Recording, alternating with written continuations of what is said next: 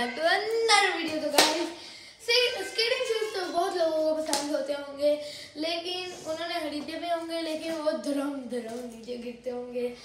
इसलिए मैं आज आपको कुछ, मेरी बहन है, आपको कुछ स्टेप्स बताएगी स्केटिंग शूज़ को चलाने के लिए. चलिए फिर शुरू करते हैं. तो गलत मैं मैं आपको